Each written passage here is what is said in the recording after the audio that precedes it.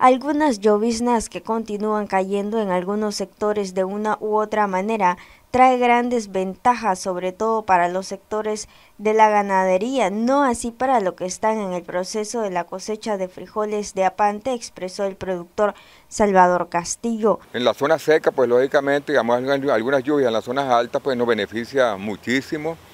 Eh, los que se dedican a producir, digamos, en la zona seca y tienen lluvia, pues lógicamente que también les está ayudando. En la cuestión de la ganadería, pues lógicamente ayuda a refrescar, digamos, el pasto seco que tenemos ya, digamos, en la, en la zona seca.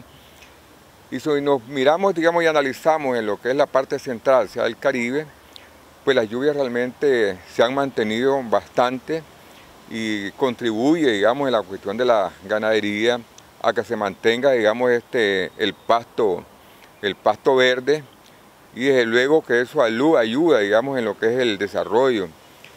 Pero si tratamos de ubicarnos, digamos, en lo que es la, producción, lo que es la agricultura, lógicamente que si estamos pensando, digamos, en la cuestión de los frijoles, que no se requiere de mucha agua, pues no deja afectar también un poco, digamos, las cuestiones de las lluvias.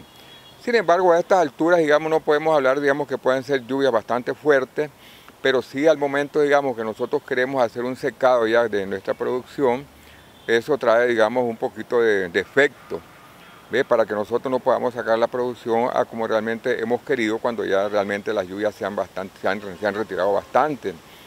Entonces, si hacemos un balance, ¿verdad? Yo creo que es más positivo que, que lo negativo lo que tenemos, digamos, cuando las lluvias todavía se nos están presentando en esta época. Castillo dijo que es importante también estar preparados ante el cambio climático y sobre todo tener expectativas sobre cómo se irá a comportar el invierno para este año. Tenemos que ver para adelante, en pensar, digamos, cuáles son las perspectivas que nosotros podemos tener, digamos, para el próximo invierno.